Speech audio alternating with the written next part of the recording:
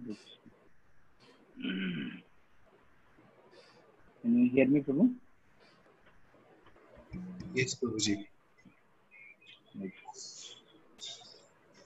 ओम अज्ञानतिमिरान्धस्य ज्ञानं जनशलाकं चक्षुरुन्मिलितं येन तस्मै श्रीगुरवे नमः नमो ओम विष्णुपादाय कृष्णकृष्णाय गोपले श्रीमते भक्तिवेदांत स्वामी नामिने नमस्ते सारस्वती देवी गौरवाणी प्रचारिणे निर्विशेष शून्यवादी पश्चिम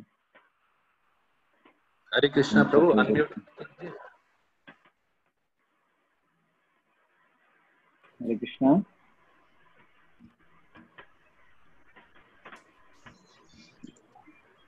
Can you hear me, Prabhu? Yes, Prabhuji, we can hear you, Prabhuji. वंशकल्पतरुभ्यश्च कृपासिन्धुभ्य एव च पतितानां पावनेभ्यो नमः श्रीकृष्ण चैतन्य प्रभु नित्यानंद, श्री अद्वैत गदाधर श्रीवासदि गौर भक्तवृंद। हरे कृष्ण हरे कृष्ण कृष्ण कृष्ण, हरे हरे। हरे राम हरे राम राम राम। हरे Krishna. After a long time meeting the हरे कृष्णा। और सब लोग कैसे हैं? हरे कृष्णा।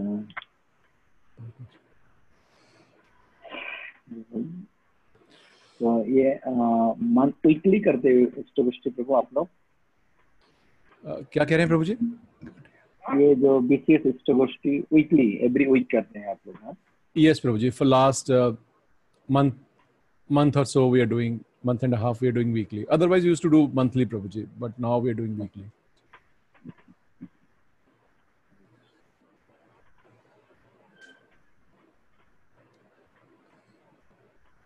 तो चूँकि ये गुरु महाराज अ, भक्तिचल संघ महाराज की दिशा भक्ति इष्टगोष्ठी तो आज हम अ, गुरु महिमा के ऊपर कुछ चर्चा करेंगे जिसमें गुरु मास के बारे में थोड़ा बहुत चर्चा करेंगे एक अ, वैष्णव सॉन्ग के through Prabhuji, your voice is little low.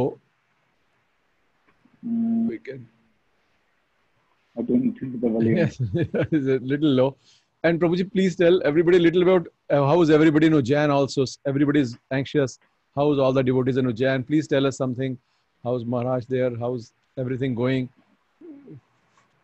Hare Krishna तो जिन में सब ठीक है प्रभु आप लोग आशीर्वाद से कृपा से everyone is doing fine Maharaj also fine अभी लॉकडाउन चल रहे यहाँ पे कुछ भक्त लोग सिक थे, इसलिए मंदिर सील था ऑलमोस्ट लेकिन सब लोग ठीक हो गए, भगवान कृष्ण का आविर्भाव के साथ साथ सभी भक्त लोग ठीक हो गए। जैसे भगवान कृष्ण का आविर्भाव हुए, हम लोग भी जेल से बाहर निकल के आ गए क्वारंटाइन से। हम लोग जब से मायापुर से आए थे, जन्माष्टमी तक कमरे में बंद थे। तो लॉक था गेट लॉक था। सरकारी ऑफिसर लोग आगे चेक करते थे दो तीन दिन बाद। और बाकी जन्माष्टमी के एक दिन बाद भूमि पूजन हुई थी गुरु महाराज की, जो पुष्प समाधि मंदिर। ये लोकेशन आप लोग जानते हैं, जो ब्रह्मचर्य आश्रम के सामने जो गार्डन है उसी जगह में। मतलब जो मंदिर के, जो और रेस्टोरेंट के बीच में जो जगह है, जो गार्डन है, उस गार्डन में फ्रंट में भूमि पूजन के लिए वास्तु के हिसाब से वो जगह सिलेक्ट किए गए हैं। अभी गवर्नमेंट उन लोग से डिस्कशन चल रही है क्योंकि इसमें कुछ परमिशन की ज़रूरत है। तो अभी जल्दी शुरू हो जाएगी पुष्प समाधि की काम और पुष्प समाधि होगी। बाकी सब नॉर्मल है अभी सरकार मंदिर खोल दिया, खोलने की परमिशन दे दी। तो दिन में कुछ घंटे के लिए सुबह शाम कुछ घंटे सुबह कुछ घंटे के लिए और शाम को कुछ घंटे के लिए मंदिर खोलते हैं। बाहर के लोग आते दर्शन करने के लिए, लेकिन मंदिर के अंदर में हाफ़ मंदिर तक आते हैं सब लोग। बाद में वहाँ से शॉर्ट टाइम के लिए एक क्यू बनाए गए, उसमें से आकर दर्शन करके चले जाते हैं। बाकी तो बाकी सब प्रोग्राम ऑनलाइन में चल रहे हैं। बाकी हाँ भक्त लोग डेफिनेटली ये तो बहुत बड़ा एक, उज्जैन के भक्तों के लिए बहुत बड़ा बिग लॉस बहुत बड़ा एक झटका है, एक शॉकिंग इंसिडेंट है, लेकिन अभी धीरे धीरे भक्त लोग रिकवर कर रहे हैं। everyone is recovered now. We have to carry on Guru Maharaj's instruction now.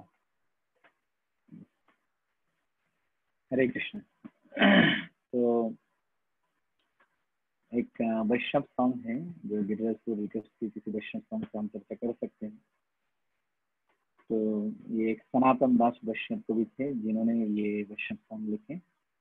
और इस सॉन्ग का नाम है, आश्रय कोरिया बंदो श्री गुरु चरण सॉन्ग का टाइटल आश्रय कोरिया बंदो श्री गुरु चरण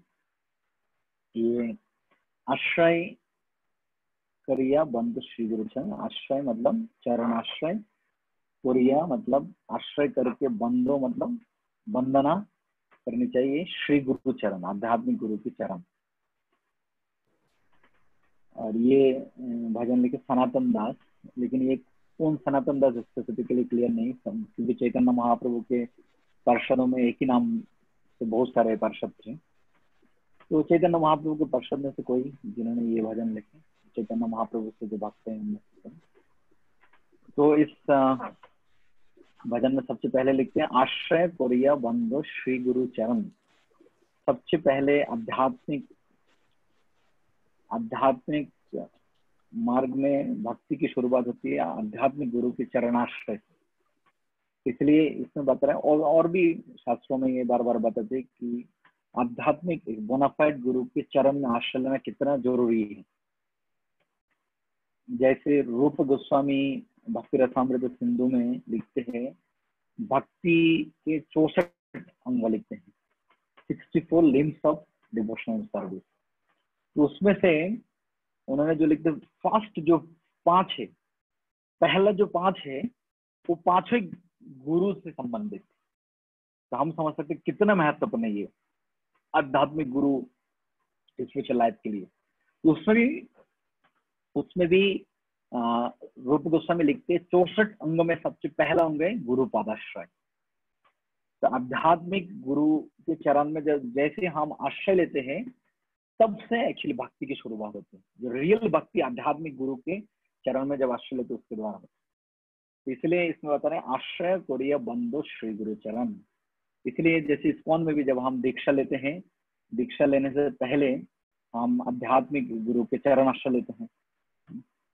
आध्यात्मिक गुरु के चरण आश्रय लेते हैं। तो इसलिए ये आश्रय ग्रहण करना बहुत ज़रूरी है। क्योंकि जब तक हम आध्यात्मिक गुरु जो भगवान के प्रतिनिधि है उनके चरण में आश्रय नहीं लेते भगवान हमें स्वीकार नहीं करते। और स्वीकार नहीं करते बल्कि शास्त्रों ऐसे लिखे वो त्याग कर देते हैं। आश्रय कोरिया भोजे तारे कृष्ण नहीं त्याग। ऐसे लिखा जो सदगुरु के चरण आश्रय करके भजना करते हैं भगवान की भक्ति करते हैं उनको भगवान कृष्ण कभी त्याग नहीं कर सकता। अगर भगवान कृष्ण अगर चाहे भी तो, तो त्याग नहीं कर सकते। अगर गुरु आश्रय दिए किसी भक्तों को अपने चरण में तो भगवान के पास कोई ऑप्शन नहीं बचेगा। भगवान, अगर नाराज़ भी हो जाते किसी कर्म से, हमारे प्रति भगवान हमें त्याग नहीं दे सकते। इसलिए सदगुरु के चरण में आश्रय ज़रूरी है, और इसलिए सबसे फ़र्स्ट भक्ति का अंग ये है, आध्यात्मिक गुरु के चरण आश्रय। आश्रय कोरिया बंदो श्री गुरु चरण। और आध्यात्मिक गुरु के चरण आश्रय करके जब हम भजन करते हैं तो उसमें क्या बेनिफिट जहाँ होते मिले भाई कृष्ण प्रेम धन। और आध्यात्मिक गुरु के चरणाश्रय से ही कृष्ण प्रेमोधन मिलता है। जहा, जहाँ मतलब जो होते मतलब से। जो आध्यात्मिक गुरु के चरण आश्रय से क्या मिले, मिलते हैं, क्या मिलते हैं? भाई। ये जो कवि है, जो वैष्णव कवि, उन्होंने बताया ओ भाई, अगर तुम आध्यात्मिक गुरु के चरण आश्रय करके रहोगे, तुम्हें क्या मिलेगा? कृष्ण प्रेमोधन और इसका एक्चुअली प्रमाण है कि आध्यात्मिक गुरु के चरण आश्रय करने से किस प्रकार कृष्ण प्रेम धन मिलते एटलीस्ट हो सकता है हमें मिले इसमें बता रहे कि हमें मिलते हैं, कृष्ण प्रेम धन मिल जाते हैं। हो सकता है हमें अभी तक नहीं मिले। लेकिन एटलीस्ट कृष्ण प्रेम क्या है, वो तो आध्यात्मिक गुरु के चरण में शरण लेने से हमें एटलीस्ट पता चल गया। जैसे शिल प्रभुपद के चरण में शरण लेने से एटलीस्ट हमें ये तो पता चल गया कृष्ण प्रेम क्या है। हम हो सकते इस कान में आने से पहले कृष्ण के बारे में जानते थे, लेकिन कृष्ण प्रेम के बारे में कितने लोगों ने सुना? हाथ उठाए आप में से। कृष्ण प्रेम के बारे में तो मैं भी नहीं सुना, हालाँकि हमारे घर पे सब लोग गौड़ीय वैष्णव है, लेकिन कृष्ण प्रेम के बारे में तो एटलीस्ट नहीं सुना है किसी ने। कृष्ण के बारे में ज़रूर जानते थे। तो ये एटलीस्ट आध्यात्मिक गुरु के चरण में शरण लेने से वो बेनिफिट मिला। तो क्योंकि कृष्ण प्रेम, पता चल गया हमें कृष्ण प्रेम मिल भी जाएगा। इसमें इसलिए बता रहे कि जहाँ हुई थे मतलब उनके गुरु के चरण में शरण लेने से मिले, मिलते हैं। क्या मिलते हैं? कृष्ण प्रेम धन। ये कृष्ण प्रेम जो धन है, सबसे श्रेष्ठ धन मिलते हैं। तो इसलिए भगवान कृष्ण के जो प्रेम है, ये है असली धन। है भौतिक संसार में जो भी धन संपद है, वो एक्चुअली धन नहीं है। धन एक्चुअल धन क्या है? भगवान कृष्ण जो प्रेम प्राप्त करना।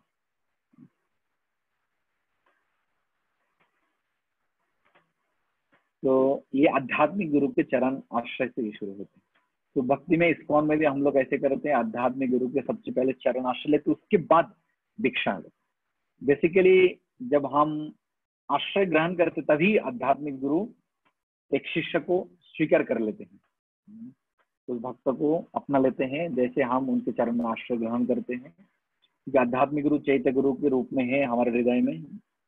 इसलिए आध्यात्मिक गुरु के चरण में जो भी आश्रय लेते हैं, आध्यात्मिक गुरु उनको हमेशा उनको प्रति कृपा।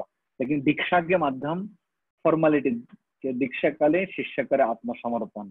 दीक्षा के समय ऑफिशियली ये संबंध को ऑफिशियल करते हैं आध्यात्मिक गुरु। ये आध्यात्मिक गुरु की चरण में आश्रय लेने की महिमा जीवेरो निस्तारो लागी नंद सुत होरी, भुवने प्रकाश कौन गुरु रूप धरी। और इसके आगे लिखते हैं, जीवेरो निस्तारो लागी नंद सुत होरी। इस भौतिक संसार में जो जीव है, जो बद्ध जीव है, हम जैसे निस्तार निस्तार मतलब उद्धार, लागी, उद्धार करने के लिए नंद सुत हरि। जो नंद मतलब नंद महाराज, सुत मतलब पुत्र वो कौन है? हरि, भगवान कृष्ण। तो अध्यात्म जो भौतिक संसार में जो बद्ध जीव है, उनको उद्धार करने के लिए नंद महाराज के पुत्र भगवान श्री कृष्ण जो साक्षात हो रही है, भुवने प्रकाश हन गुरु रूप धरी। वो नंद महाराज के पुत्र कृष्ण, भुवने मतलब इस भौतिक संसार को भुवन, प्रकाश, इस भौतिक संसार में प्रकाश होते हैं, गुरु रूप धरी। गुरु के रूप में इस भौतिक संसार में प्रकट होते, प्रकाश होते कौन? ये नंद महाराज के पुत्र कृष्ण। तो इसलिए गुरु क्यों आते इस भौतिक संसार में? गुरु इसलिए आते हैं कि जीवों को निस्तार करने के लिए, उद्धार करने के लिए।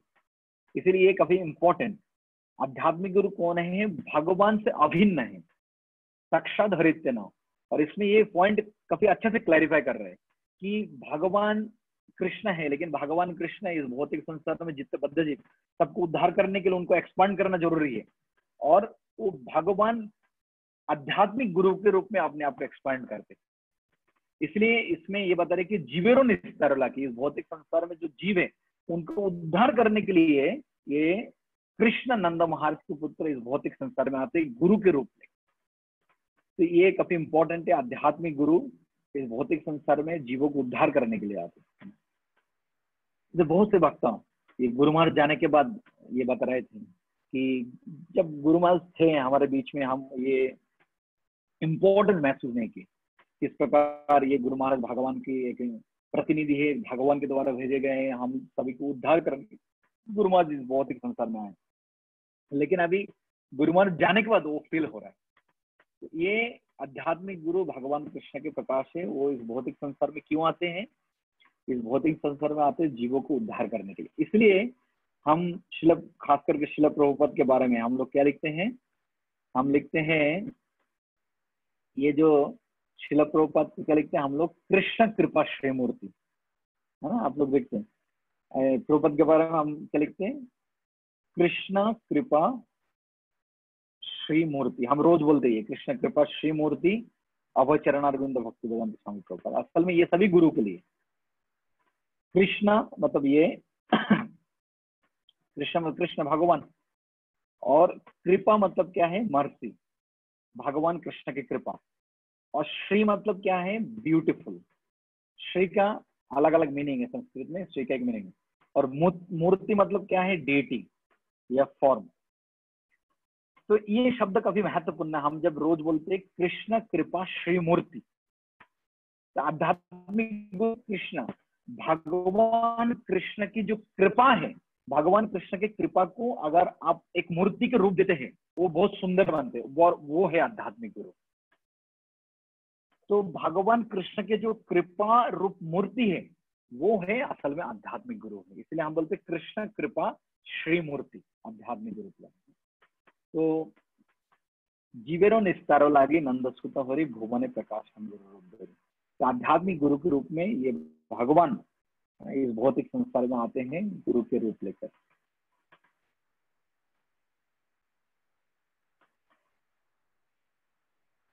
इसलिए इसमें बता रहे कि महिमाई गुरु कृष्ण एक कोरी जानो, गुरु आज्ञा सब सत्य कोरी मानो। और अगर महिमा हम विचार करते हैं, ग्लोरीज विचार करते तो गुरु और कृष्णा, ये जो दोनों है, गुरु और कृष्ण, इन दोनों का महिमा एक है। इसमें अलग नहीं है। गुरु और कृष्ण की महिमा ऑलमोस्ट सेम है। हम जैसे कृष्ण तत्व, विष्णु तत्व पढ़ते हैं, उसी प्रकार गुरु तत्व भी ऑलमोस्ट सेम इंपॉर्टेंस शास्त्र में दिया गया है। महिमा गुरु कृष्ण एक करी जाना, गुरु आज्ञा हृदय सब सत्य करी माना। तो चूँकि गुरु और भगवान कृष्ण दोनों के महिमा इंपॉर्टेंट है। जैसे एक श्लोक है, जिसमें आप लोग जानते हैं, जिसमें बताते हैं कि किस प्रकार भगवान कृष्ण और आध्यात्मिक गुरु के प्रति जिनके शब्द, जिनके श्रद्धा है, उनके हृदय में सभी शास्त्रों के जो निचोड़े ऑटोमेटिकली आ जाते हैं। देवे पराभक्ति, यथा देवे तथा गुरु।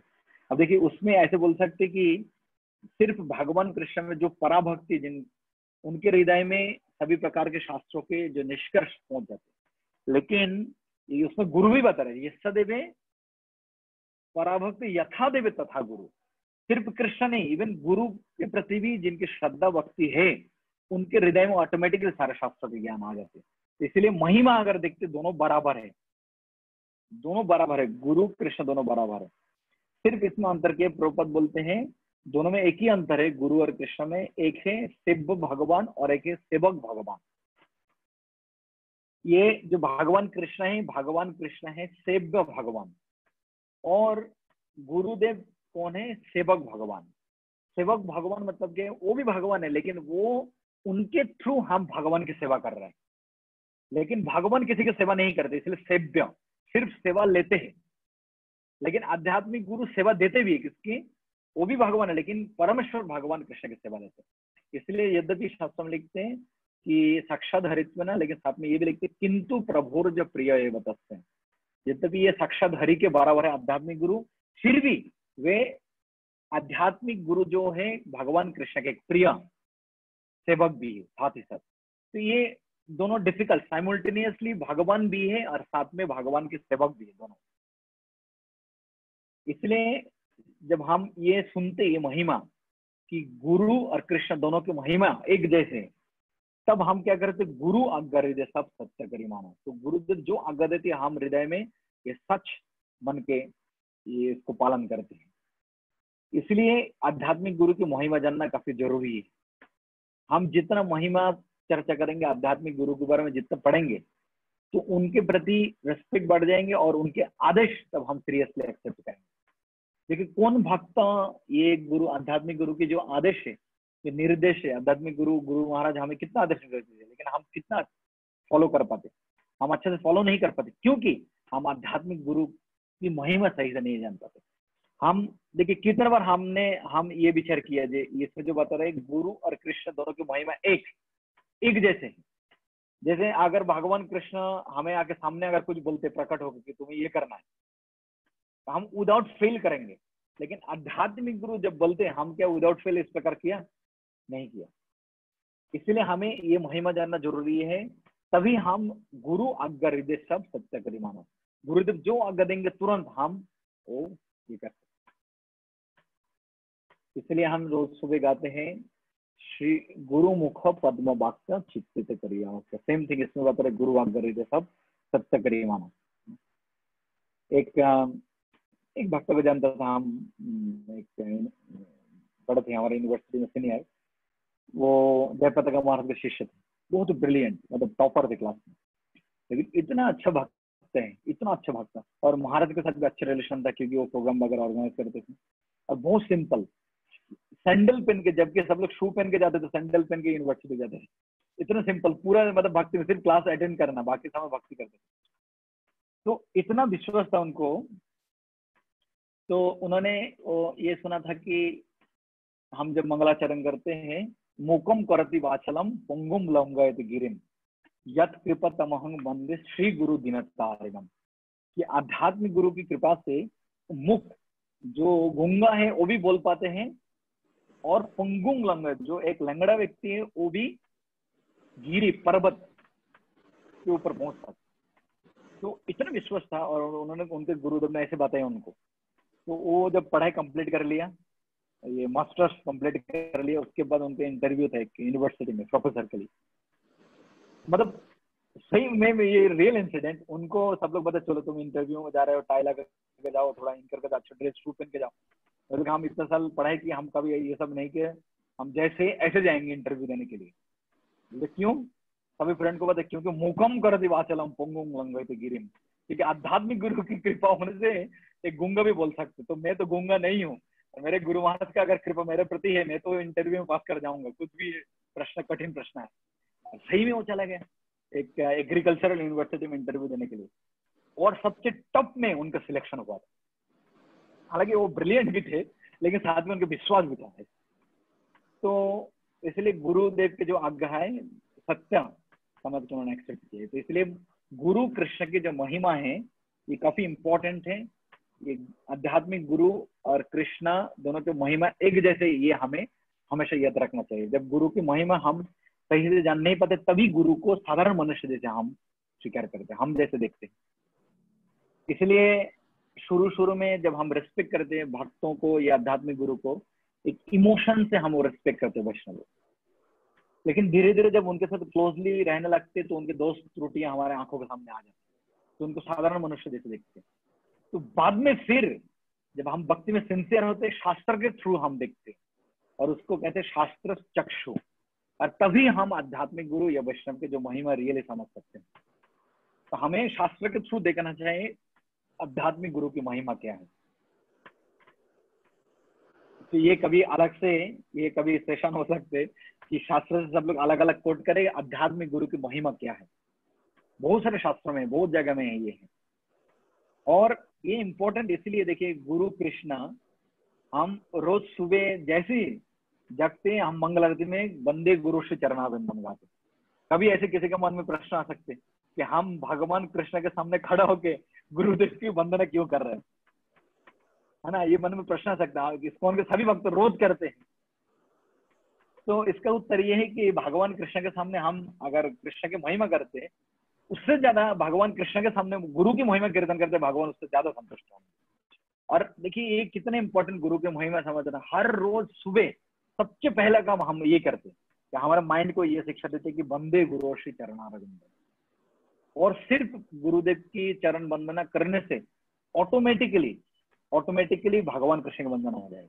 क्योंकि उस श्लोक में देखिए दुर्वाष्टक में जितने हमने पढ़ा, महाप्रभु कीर्तन नृत्य गीत, कीर्तन नृत्य गीत सब आ जाते हैं। रोमांच कंपश वो आ जाते हैं। अब भगवान से रिलेटेड सब कुछ ऑटोमेटिकली आ जाते हैं। बंदे गुरु श्री चरणारविंद। तो ये है आध्यात्मिक गुरु की महिमा। इसलिए महिमा ही गुरु कृष्ण एक्ट करे जाना। तो कृष्ण की महिमा जितनी जितनी उतना भगवान इतना गुरु की। सत्य ज्ञानी गुरु वाक्य जाहारो, विश्वास, अवश्य तार है ब्रज भूमि वास। और ये बता रहे कि सत्य ज्ञानी गुरु वाक्य जाहर विश्वास जिन, जो जिन भक्त की, जो शिष्य की विश्वास है, आध्यात्मिक गुरु के वाक्यों में फर्म फीत उनके आदर्श में तो अवश्य ताहार है ब्रजभूमि वास। ये ज़रूर उनको डेफिनेटली उनको वृंदावन ब्रजभूमि में उनको स्थान मिलेगा। ब्रजभूमि में वास होगा। जो सिर्फ़ आध्यात्मिक गुरु के वाक्य में जिनके विश्वास है। देखिए कितने पावरफुल सिर्फ़ ये रहे जो आध्यात्मिक गुरु के जो निर्देश है, वाक्य है, उसमें जिनकी विश्वास है ऑटोमेटिकली ब्रजभूमि वास होगा हम ये देखते शिला प्रभुपाद के बारे में। शिला प्रभुपाद जब 1922 में डॉक्टर सिद्धार्थ ठाकुर से मिले उल्टाडांगा गौड़िया मठ में। लेकिन उन्होंने इंस्ट्रक्शन दिया कि अंग्रेज़ी भाषा के माध्यम प्रचार करने के लिए। लेकिन प्रभुपद बहुत साल हो गए, प्रभुपद अपने बिज़नेस में व्यस्त हो गए थे। प्रभुपद प्रचार नहीं कर पाए। लेकिन जब प्रभुपद एक दिन भागवत गीता पढ़ रहे थे, जिसमें Bhagavad Gita two point sixty two sixty one वो वर्ष जो है उसके टीका पढ़ रहे थे बलदेव विद्याभूषण के, और विश्वनाथ चक्रवर्ती ठाकुर के। तो उसमें लिखा है व्यवसाय आत्मिका बुद्धि एक कुरुनंदना वो श्लोक। और उस श्लोक के तात्पर्य में ये लिखा था कि व्यवसाय आत्मिक बुद्धि मतलब क्या है? उसमें लिखते हैं टीका में कि व्यवसायत्मिक बुद्धि मतलब वन पॉइंटेड अटेंशन निश्चय आत्मिक भक्ति। तो वन पॉइंटेड अटेंशन मतलब क्या है? आध्यात्मिक गुरु की जो निर्देश है, उस निर्देश या आध्यात्मिक गुरु की जो वाक्य है, उस वाक्य को अपने लाइफ एंड सोल लेना, वो है व्यवसायत्मिक बुद्धि। और ये सुनने के बाद प्रोपद तो प्रोपद के दिमाग बोले प्रोपद बोले, मैं क्या कर रहा हूँ इतने साल तक? मेरे गुरु महाराज भक्त सिद्धांत ठाकुर ने मुझे कब की दस बारह साल पहले ये निर्देश दिया कि अंग्रेज़ी भाषा का माध्यम प्रचार करो और मैं अभी भी गृहस्थ जीवन में पढ़ा हूँ, अभी भी बिज़नेस कर रहा हूँ फार्मास्यूटिकल कंपनी चला रहा हूँ। तुरंत प्रोपद मुझे छप छोड़ देना चाहिए। एक श्लोक पढ़ के प्रोपद का लाइफ चेंज हो गया। सिर्फ़ वो लाइन पढ़ के कि एक शिष्य को अपने गुरु महाराज के गुरु की जो आदेश है, वो अपने लाइफ एंड सोल जैसे लेना चाहिए। तो प्रोपद बाद में बता लाइफ एंड सोल का मतलब क्या है? गुरु का जो वाक्य है, निर्देश है लाइफ एंड सोल का मतलब क्या है? कि जिस प्रकार सोल अगर हमारे बॉडी से निकल जाते हैं, आत्मा, हम मर जाएँगे, हम ज़िंदा नहीं रहेंगे, उसी प्रकार कभी अगर आध्यात्मिक गुरु की निर्देश एक निर्देश भी पालन करने में अगर हम असमर्थ हो जाते, हमें ये समझना चाहिए, हमें मर जाना चाहिए। ये है लाइफ एंड सोल हम नहीं कर पाएँगे हालाँकि, लेकिन that is the meaning of life and soul आध्यात्मिक गुरु के निर्देश को ऐसे लेना चाहिए। कि सोल निकल जाने से जिस प्रकार हम मर जाएँगे, उसी प्रकार आध्यात्मिक गुरु के निर्देश में विफल होने से इस प्रकार हो जाना चाहिए तो प्रभुपाद, ये श्लोक पढ़ के प्रभुपद के पूरा लाइफ चेंज हो गया। कि मैं क्या कर रहा आध्यात्मिक गुरु महाराज मुझे, गुरु महाराज कितना साल पहले आदेश दिया मैं अभी भी कहता तो इसीलिए बता रहे कि अवश्य तार हो ब्रजभूमि वास।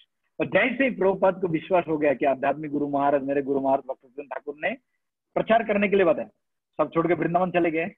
इस श्लोक के साथ मिलते कि नहीं? जो आध्यात्मिक गुरु के वाक्यों में विश्वास है उनको ब्रजभूमि में वास हो जाते। तो कभी भी छोड़ देंगे, वृंदावन तैयार है रेडी है। तो इसलिए अवश्य पार है ब्रजभूमि वास। उनको ज़रूर ये ब्रजभूमि वृंदावन में उनको वास स्थान मिलेगा जो आध्यात्मिक गुरु का आदेश पालन करते और अल्टीमेटली अगर हम देखते हैं आध्यात्मिक गुरु के आदेश क्या है? आध्यात्मिक गुरु के आदेश ये है। आध्यात्मिक गुरु के आदेश है कि जो ब्रज भूमि जो ब्रजवासी लोग जिस प्रकार भगवान कृष्ण की भक्ति करते थे, हमें भी इस प्रकार भक्ति करनी चाहिए। जार प्रति गुरुदेव हन प्रसन्न, कोनो विघ्ने से हो नहीं, हय अवसन्न। बहुत सुंदर लाइन इसमें लिखते हैं, जार प्रति गुरुदेव हन प्रसन्न। प्रसन्न मतलब ये बंगाली कभी कोई लोकल में लिखते प्रसन्न मतलब प्रसन्न।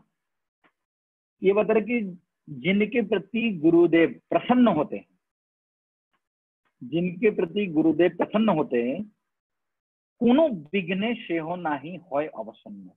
विघ्न मतलब बाधाएँ किसी भी प्रकार बाधाएँ कठिनाई, किसी में वो कभी अवसन्न अवसन्न मतलब परेशान नहीं होते। ये बहुत इंपॉर्टेंट बात। आध्यात्मिक गुरु जिसके प्रति प्रसन्न हो जाते हैं, दुनिया में किसी भी कठिनाई, विपदाएँ आने के बावजूद भी वो कभी परेशान नहीं होते। मैं ऐसे दो तीन भक्तों को जानता हूँ, बहुत वरिष्ठ भक्त हैं। वो लोग हमेशा मतलब कितने बहुत सीनियर भक्त हैं, बहुत साल पहले दीक्षा ली। और वो लोग हमें बोलते हैं कि मतलब हम जब पूछते प्रभु, इतने समस्या, इतने प्रॉब्लम आते शिकायत होते हैं, आपके साथ झगड़ा विवाद होते बाकी भक्तों का, आप कैसे शांत रहते हैं? कैसे अपने आप को संभालते हैं?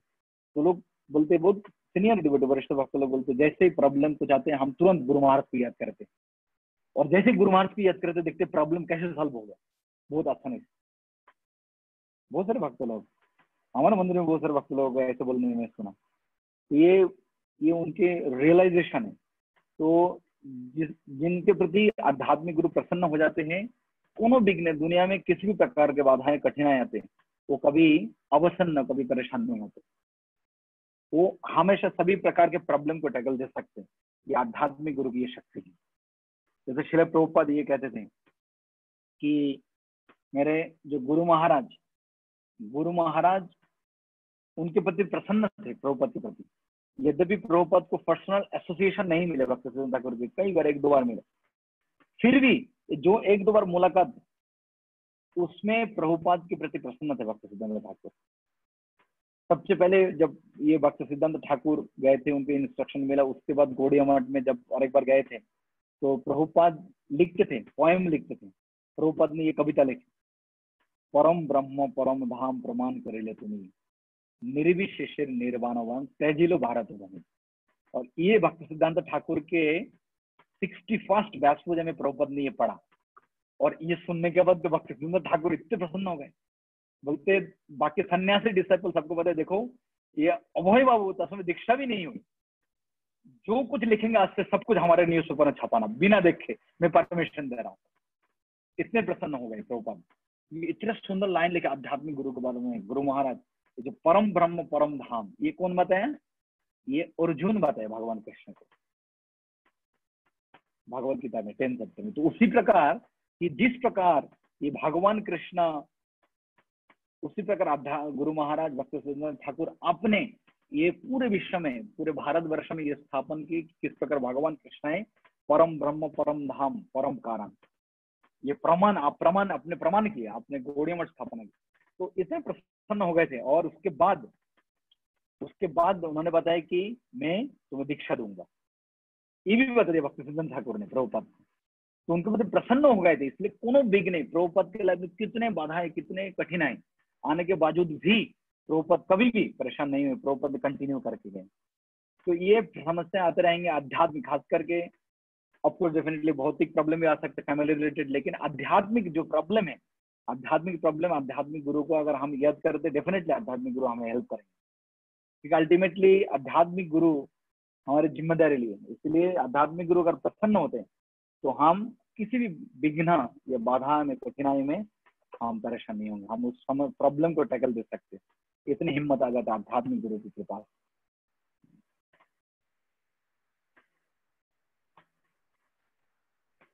इवन चैतन्य महाप्रभु के लीला में भी ऐसे बहुत सारे उदाहरण है कि किस प्रकार आध्यात्मिक आध्यात्मिक गुरु की कृपा से वो कभी परेशान नहीं होते। जैसे चैतन्य महाप्रभु हमेशा कहते थे जब भी चैतन्य महाप्रभु को मायावादी लोग और भी लोग ऐसे अटैक करते थे, तर्क करते थे, वो हरिनाम क्यों कर रहे, वो क्यों कर रहे हैं? चैतन्य महाप्रभु हमेशा, यद्यपि चैतन्य महाप्रभु तर्क कर सकते थे, लेकिन चैतन्य महाप्रभु हमेशा एक ही उत्तर देते क्यों हम हरिनाम कर रहे हैं? क्यों शास्त्र वगैरह ये जो वेद वेदांत ये चर्चा नहीं कर रहे? हैं एक ही उत्तर देते थे। किसको पता है?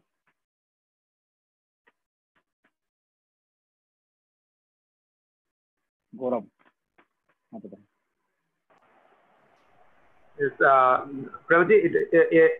गुरु मुख, मोड़े मूर्ख देखी। गुरु मुझे पुलिस की तरह देखे, इस वजह से ही has given me he has told me not to study with to read chant the holy name of the lord गुरु मोरे मूर्ख देखी करिले शासन चैतन्य महाप्रभु परमेश्वर भगवान फिर भी हर जगह में ये कहते थे कि आध्यात्मिक गुरु मेरे गुरु महाराज मुझे देखा मैं एक मूर्ख हूँ मैं बहुत बड़ा मूर्ख हूँ इसलिए मुझे ये बताया तो इसलिए उनके आध्यात्मिक गुरु के जो आदेश हैं उसके प्रति बहुत सिंसियर थे चैतन्य महाप्रभु। हर जगह में सिर्फ़ गुरु का नाम बोलते थे। इवन हम शिल प्रभुपाद को भी देखते थे। शिल हमेशा बोलते थे कि इस कृष्ण भावनामृत आंदोलन में जो भी सफलता मिली है मुझे, वो सब कुछ एक्चुअली मेरे गुरु महाराज भक्त सिद्धांत सरस्वती ठाकुर के वजह क्योंकि प्रभुपाद उनके, थोड़ा सा प्रभुपाद उनके एक दो बार दो, तीन बार मुलाकात जैसे अभी ये प्रश्न आ रहा है हमारे गुरु महाराज के अंतर्दान के बाद, ये प्रश्न आ रहे बार बार की बहुत सारे भक्त, कल भी मुझे एक भक्त प्रभु हम गुरु महाराज से कभी बात ही नहीं कर पाए आज तक। मतलब कभी गुरु महाराज से मिले नहीं। मैं बोला, प्रभु, ऐसे हज़ारों भक्त हैं। अब देखो, प्रभुपद के कितना दस हज़ार भक्त थे। शिष्य थे, कितने लोग प्रभुपद से डायरेक्टली बात कर पाए। लेकिन अभी इस्कॉन में ऐसे भी है, इस्कॉन में ऐसे बहुत बड़े शिष्य हैं, इस्कॉन में ऐसे बहुत बड़े गुरु हैं, जो बहुत बड़े पोजिशन टॉप लेवल के। उन लोग प्रोपद से एक या दो बार उनकी मुलाकात हुई थी। दीक्षा के समय मिले, और कभी मिले ही नहीं। प्रोपद से बात भी नहीं। तो असली जो रियल सेवा है आध्यात्मिक गुरु की, वाणी के माध्यम, आध्यात्मिक गुरु की सेवा होती है। वाणी के माध्यम, आध्यात्मिक गुरु की। तो आध्यात्मिक गुरु वाणी के माध्यम हमारे साथ उपस्थित रहते। प्रभुपाद इवन अभी जब मायापुर में समाधि प्रोग्राम बहुत सारे लोग ये वायरस की वजह से जा नहीं पाया, मायापुर में रेस्ट्रिक्शन की वजह से। लेकिन प्रभुपद उनके गुरु महाराज के तिरुभाव के समय प्रभुपद उपस्थित नहीं थे। और जब उनके गुरु भाइयों ने प्रभुपद को ये बताया कि आप क्या कर रहे हैं? गुरु महाराज की तिरुभाव तिथि आप आ नहीं रहे। प्रभुपद को डांट पड़ा। प्रभुपद बता रहे, देखो, ऐसे एक भी दिन नहीं था जब मेरे गुरु महाराज भक्त सिद्धांत ठाकुर मेरे साथ नहीं थे। वो, वे हमेशा मेरे साथ हो सकता है मैं तिरुभाव के समय उनके सामने उपस्थित नहीं हूँ, लेकिन हमेशा मेरे गुरु महाराज उनके इंस्ट्रक्शन के द्वारा मेरे साथ थे। ऐसे बताए प्रभुपद ने और प्रभुपद खुद बताया कि मतलब मेरा गुरु महाराज के साथ दो या तीन बार भेंट हुआ था पर्सनली मैं कभी नहीं मिलता। एक बार शुरू में मिले थे, उनके फ्रेंड के साथ, उस समय तो ऐसे बात भी ज़्यादा नहीं हो पाया। उसके बाद और एक बार गोड़िया मठ में मिले थे, उसके बाद इलाहाबाद प्रयागराज और एक बार वृंदावन। बस इतना ही। और ज़्यादा प्रभुपद मिले नहीं पाए। फिर भी भक्त सिद्धांत ठाकुर के वरिष्ठ महान शिष्यों में से प्रभुपद के नाम आते। इसलिए आध्यात्मिक गुरु की रियल सेवा है बानी सेवा। क्योंकि बानी सेवा जो है बानी सेवा है परमानेंट इटरनल जबकि बपू सेवा है टेम्पररी आध्यात्मिक गुरु देखा अभी नहीं तो कभी दस साल, बीस साल, तीस साल तो जाना ही है। लेकिन बानी सेवा के माध्यम हम हमेशा सेवा कर सकते हैं। जिस प्रकार प्रोपद अभी नहीं है, हम प्रोपद की बहु सेवा नहीं कर सकते। जिस प्रकार प्रोपद के शिष्य लोगों ने की। लेकिन अभी प्रोपद बानी के माध्यम और ज़्यादा लोगों को प्रचार कर रहे हैं। अब देखिए, इसलिए बानी इंपॉर्टेंट है। प्रोपद जब उपस्थित थे, उन्होंने अपना बोप के द्वारा कितने लोगों को प्रचार किया? और लेकिन उसके बाद अभी बानी के द्वारा कितने लोग प्रचार किए? प्रोपद जब से इस में कितने भक्त लोग थे, अब दो हज़ार बीस में कितने भक्त लोग तो इसलिए हम ये समझ सकते कि आध्यात्मिक गुरु के जो बानी है, बानी इंपॉर्टेंट बानी सेवा इटरनल परमानेंट और हम बपू सेवा को कर सकते, हो सकता हम उनके क्लोजली रह सकते लेकिन हम उनके हो सकते डिस्टर्ब करेंगे। लेकिन बानी सेवा के माध्यम रियल सेवा कर सकते जैसे प्रोपाद उदाहरण देते हैं, हो सकते हैं कोई राजा राज गद्दी पर बैठे हुए, राजमहल में। तो मंत्री लोग उनसे दूर दूर बैठे हुए उनके नज़दीक नहीं है। लेकिन हो सकता है जो बाघ, जो है ना बाघ, है ना, जो बाघ, कीड़ा जो है तो बाघ हो सकते राज गद्दी पर राजा के जो सिंहासन है, सिंहासन पर बैठे हुए राजा के कुमर में बैठे हुए तो राजा के सबसे नज़दीक में कौन है? वो बाघ। मंत्री लोग दूर में हैं। तो इसका मतलब ये नहीं कि मंत्री लोग से ज़्यादा अच्छा सेवा कर रहे है जो बाघ। है ना? तो उसी प्रकार आध्यात्मिक गुरु को हम बानी सेवा के माध्यम रियल सेवा कर सकते हैं। तो ये इम्पोर्टेंट आध्यात्मिक गुरु की सेवा किस प्रकार की जाती है? तो जार प्रति गुरुदेव हन प्रसन्न, कोनो बिघ्न सेवना ही है हो सकते हैं आध्यात्मिक गुरु गुरु महाराज को जो प्रसन्न करना, ये ऐसे नहीं कि गुरु महाराज जब जीवित थे तभी हम प्रसन्न करते हैं नहीं। उसके बाद भी हम प्रसन्न कर सकते हैं आध्यात्मिक गुरु को।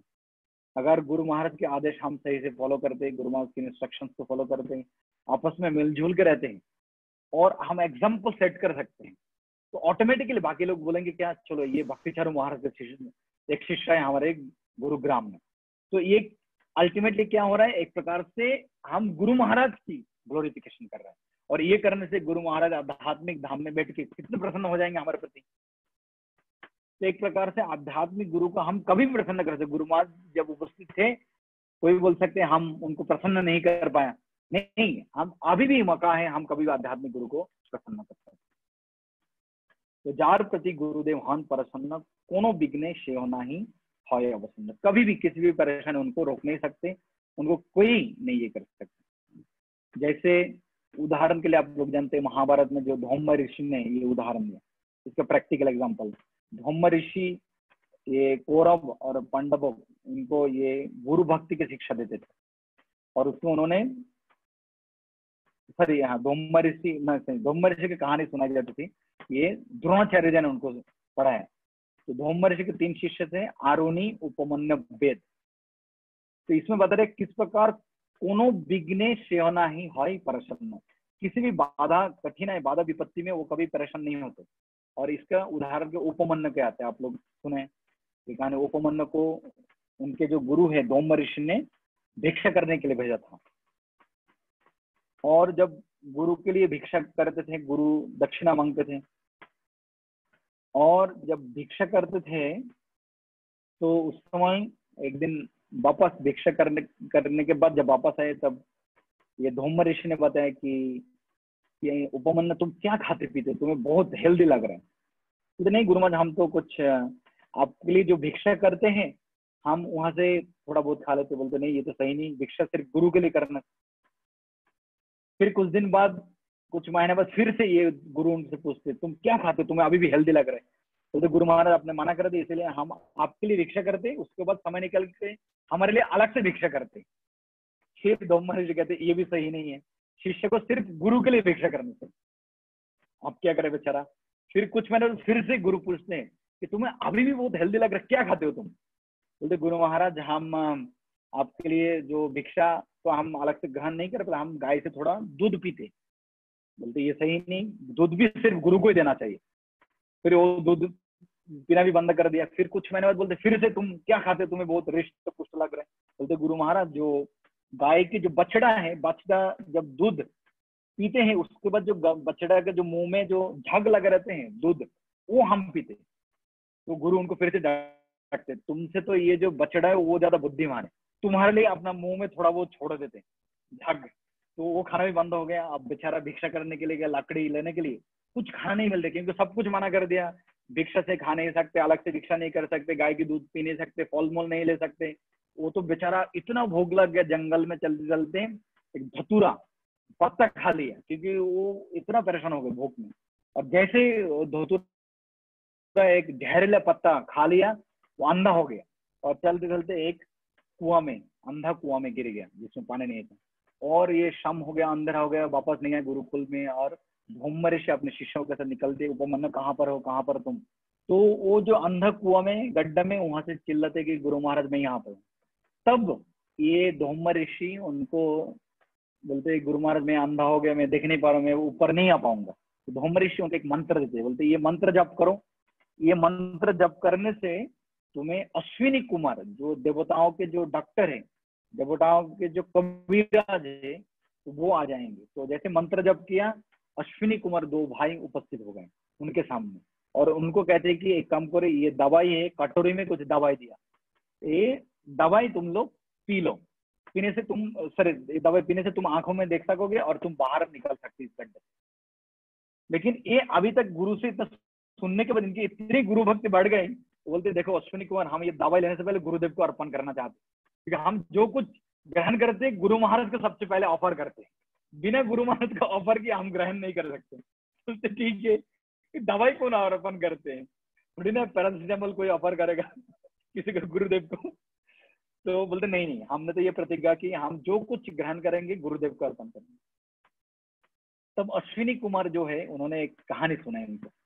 बोलते, देखो उपमन हम तुम्हें एक स्टोरी सुनाते हैं। बहुत साल पहले तुम्हारा जो गुरु महाराज धुम्बर ऋषि, ये भी गुरुकुल में थे। ये भी बचपन में जंगल में घूमते घूमते ऐसे धोतुरा खा लिया, उन, वो भी अंधा हो गए तो वो भी गड्ढे में गिर गए। और ये मंत्र जब किया था, तब हम उनके सामने आए। और हम भी उन्होंने, उनको सेम दवा दिया। उस समय तो उन्होंने अपने, उनके गुरु को अर्पण करने के लिए नहीं बताया। आप क्यों बता रहे हो? बोलते, नहीं नहीं नहीं, हमारे गुरु महाराज बताए, जो कुछ ग्रहण करते, सबसे पहले गुरु को देना चाहिए। और अश्विनी कुमार इतने प्रसन्न हो गए, उनके गुरु भक्ति देखकर। अश्विनी कुमार कहते देखो, तुम्हें दवाई की ज़रूरत नहीं है, तुम ऐसे ही ठीक हो जाओगे, तुरंत वो आँखों में देखने लगे और ऊपर आ गए, तब धूमर ऋषि बताए ये एक प्रकार से मैं तुम्हारे परीक्षा ले रहा था। गुरु भक्ति कितना है तुम्हारे अंदर? तो तुमने पास किया तो 12 साल ये शुरू किया था तुम गुरुकुल में अभी अभी। तो 12 साल गुरुकुल में पढ़ने के बाद जो शास्त्र के जो निश्चय जो समझ में आता है, जो शास्त्र के जो निष्कर्ष है, तुम्हें अभी तुरंत वो प्राप्त हो जाएगा। और ये सही सही में उपमन्य को ऐसे रियलाइज़ होगा महसूस हुआ कि सारे शास्त्रों के वेद वेदांत के ज्ञान उनके हृदय में प्रकट हो गया। इसलिए बोलते यथा देवी पराभक्त यथा देवी तथा गुरु। तो कितने बाधा विपत्ति आने के बाद भी वो कभी परेशान नहीं हो, क्योंकि गुरु उनके प्रति प्रसन्न इसलिए ये बताते कि कृष्ण रुष्ण होले गुरु राखी बारे पारे। ये श्लोक सबको याद करना चाहिए। ये बंगाल में सभी लोगों को याद है। इवन जो भक्त नहीं, उनको भी याद है। बाहर के लोगों को। फ़ेमस लाइन कृष्ण रुष्ट होइले गुरु राखी बारे पारे गुरु रुष्ट होइले कृष्ण राखी बारे मारे बहुत सुंदर। रुष्ट मतलब क्या है? रुष्ट मतलब जो रुठ जाते हैं, असंतुष्ट हो जाते हैं। जब भगवान कृष्णा किसी भक्त के प्रति, किसी व्यक्ति के प्रति नाराज़ हो जाते हैं, असंतुष्ट हो जाते हैं, अप्रसन्न हो जाते हैं, रुष्ट हो जाते तो गुरु राखी बारे पर, तब गुरु रक्षा कर सकते राखी बारे मतलब बचा सकते। अगर भगवान नाराज़ हो जाते हैं गुरु नाराज़ इससे जब भी भक्त ने फ़ोटो दिया, मान लीजिए ये भक्त पुजारी सेवा कर रहा है। अभी ये बहुत कॉमन इंसिडेंट हम भी सेवा करते थे, ये डी के बहुत बार। ये फुल हमारे मंदिर में बहुत ज़्यादा ज़्यादा देता था लॉकडाउन से पहले अभी नहीं। तो कभी कभी आरती करते वक्त गिर जाता था एक दो फुल तो आरती के बाद हम उठा लेते थे फ्लोर से, कभी पैर में भी लग जाता था। अब देखिए, सेवा अपराध है। ये तो ना महाप्रभु के चरण में अपराध हो जाएँगे, लेकिन गुरु सामने खड़े। गुरु है पीछे बचाने के लिए। अगर भगवान नाराज़ भी हो जाते, गुरु पीछे बोल रहे हैं, मेरे शिष्य पूजा सेवा कर रहे हैं, उनको कुछ गलती होगा तो क्षमा कर देना।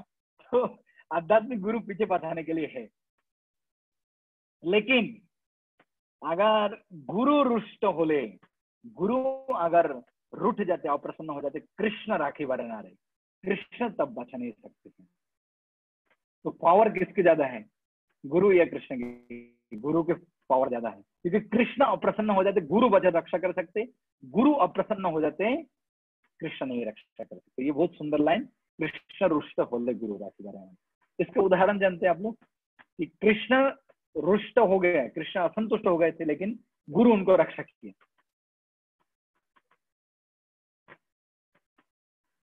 एनी एग्ज़ाम्पल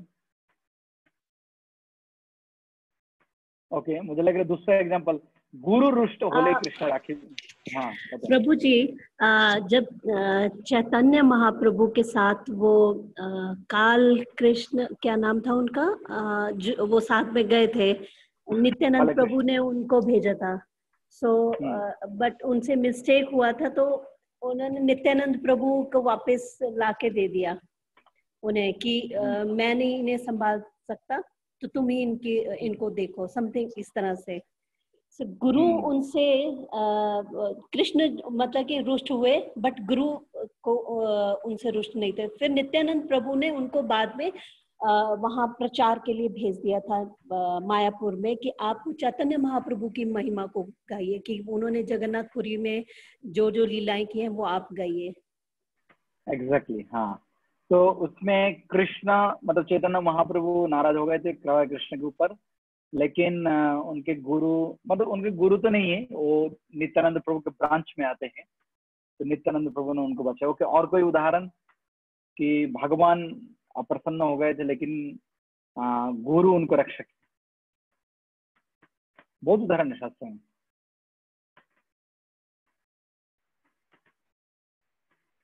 ये कौन बताइए रोनी प्रभु जगह माधाई जगह माधा नाइस इंसिडेंट। चैतन्य महाप्रभु अप्रसन्न हो गए थे एक प्रकार से। लेकिन नित्यानंद प्रभु उनके क्षमा कर दिया क्लासिकल एग्ज़ाम्पल है। नित्यानंद प्रभु अगर क्षमा नहीं करते थे चैतन्य महाप्रभु उनको बद कर देते थे। और कोई उदाहरण?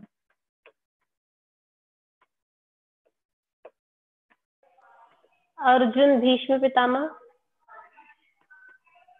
अर्जुन भीष्म पितामह क्या हुआ था? जब हरे कृष्ण प्रभु जी, जब कृष्ण भगवान उनको रथ का पहिया लेके दौड़े थे तो अर्जुन ने बोला था कि इनको छोड़ दें। भीष्म पितामह को। ओके। ओके। ओके। महाभारत में और भी कई इंसिडेंट है।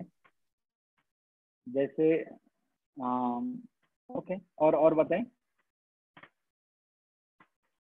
ओके नेक्स्ट जो गुरु रुष्ट होइले कृष्ण राखी बारे, ये तो बहुत उदाहरण है। गुरु जब अप्रसन्न हो जाते तब कृष्ण भी रक्षा नहीं कर सकते। सेकेंड लाइन जो है इसको उदाहरण।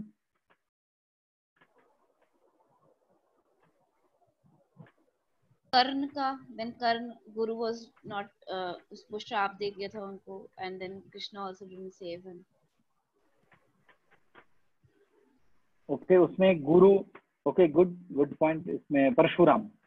परशुराम उनके प्रति अप्रसन्न हुए थे तो कृष्णा ओके बोल सकते पर्शियली एनी अदर एग्ज़ाम्पल जब गुरु अप्रसन्न होने के बाद कृष्ण उनको जैसे हाँ बृहस्पति का भी था जब इंद्र ने उनका अपमान करते हैं हम्म। भगवान ही बोलते हैं कि यू हैव ब्रह्मा जी की आपने अपने गुरु का अपमान किया है बृहस्पति का.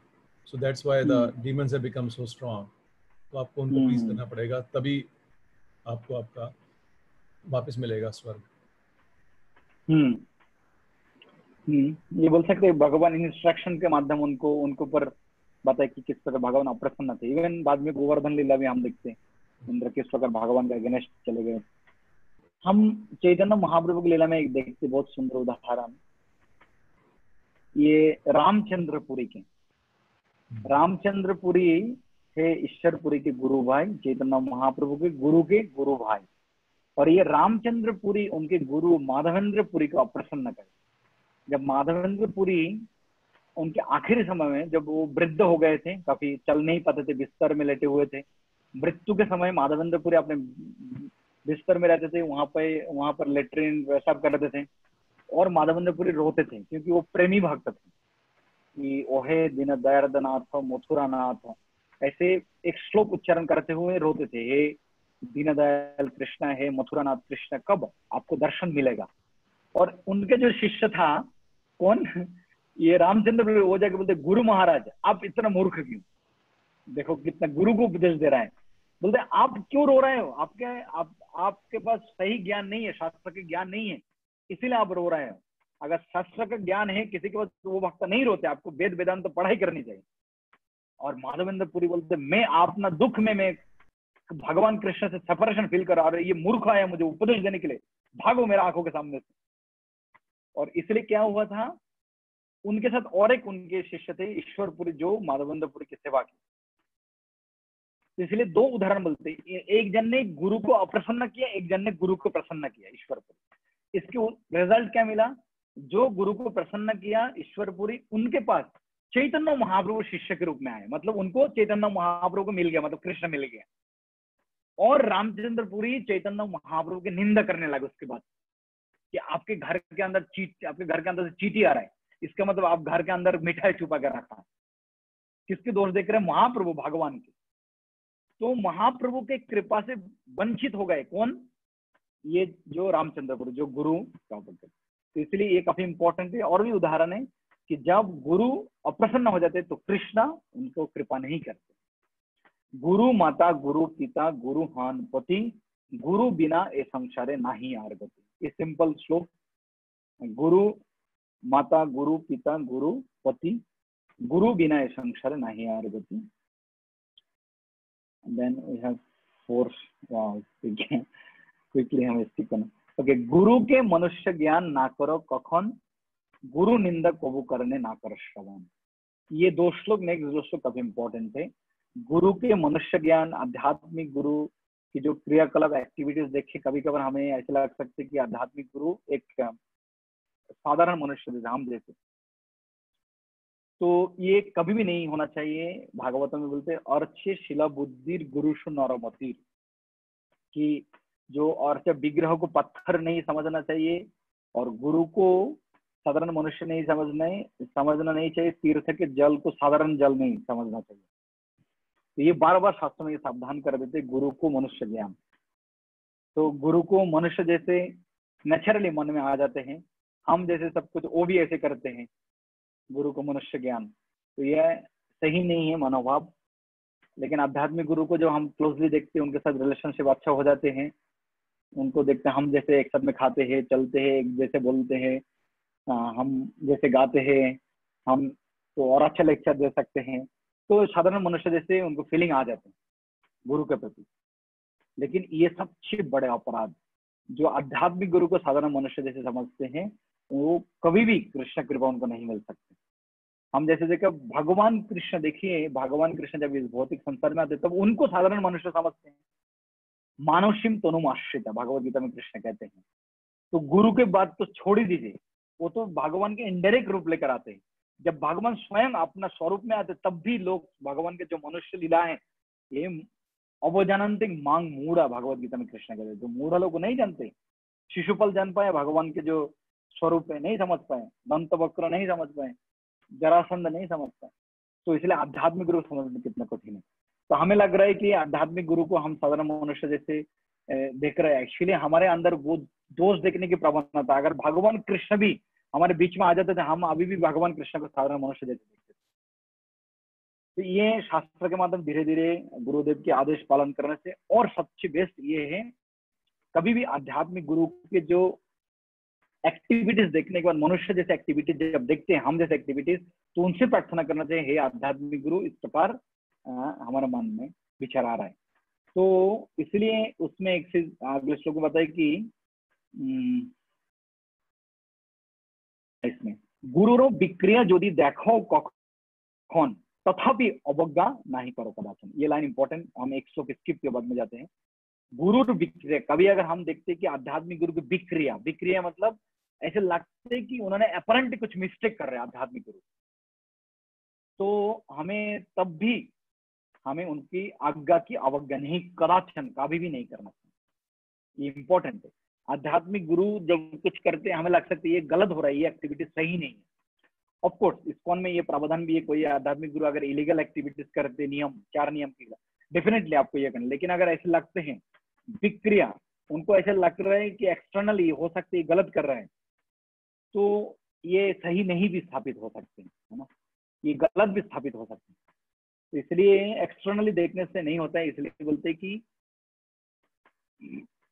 ये बोलते कि वैष्णवेर क्रिया मुद्रा विज्ञ ना बुझाए जो विज्ञ जो बहुत ही एक्सपर्ट अभिज्ञ व्यक्ति एक्सपर्ट व्यक्ति भी वैष्णवों क्रियाकलाप नहीं समझ सकते। तो हम तो कितने मूर्ख है, हम कैसे समझ सकते हैं आध्यात्मिक गुरु की क्रियाकलाप तो एक्सटर्नली देखने से ये लग सकते कि ये कुछ बहुत ही काम कर रहा है, लेकिन आध्यात्मिक गुरु की जो भी है, जैसे गुरु महाराज मान लीजिए एटलीस्ट गुरु महाराज के बारे में हम लोग गुरु महाराज मान लीजिए अमेरिका गए। एटलीस्ट हम तो जानते गुरु महाराज किसके लिए कुछ प्रोजेक्ट रिलेटेड काम था, कुछ कुछ और भी इश्यूज़ था गुरु महाराज फाइनेंशियल लेकिन अगर अल्टीमेटली देखते हैं, गुरु महाराज एक सन्यासी है, उनका तो पर्सनल कोई नहीं है। जो कुछ उन्होंने लाइफ में किया अल्टीमेटली ये तो कृष्ण भक्ति प्रचार के लिए। तो अगर हम उस दृष्टि से देखते हैं, कुछ भी करें, लेकिन अल्टीमेटली क्यों कर रहे हैं? कृष्ण भक्ति प्रचार के लिए उनका तो ऐसे नहीं कुछ अलग से ले जाएँगे, या किसी के परिवार के किसी को देंगे। तो उनका तो कोई है ही नहीं तो वो तो पूरा जीवन समर्पण कर दे भगवान के लिए। तो इसलिए कभी कभार हमें ऐसा लग सकते चलो बहुत लोग गुरुमा जैसे हॉस्पिटल में रहे कोरोना डिज़ीज़ ऐसे हो गए। एक चीज़ तो हमें मन में विचार करना चाहिए कि जिन्होंने पूरा जीवन भगवान के लिए समर्पण कर दिया, अपना फैमिली भी नहीं, कोई नहीं, सब कुछ फुल्ली डेडिकेटेड रेनाउंस ऑर्डर में चले गए।